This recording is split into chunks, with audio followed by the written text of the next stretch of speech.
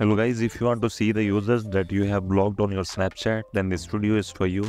Now first of all, click on setting icon. Now scroll down, click blocked user. Now these are the users that you blocked on your Snapchat. Thanks for watching.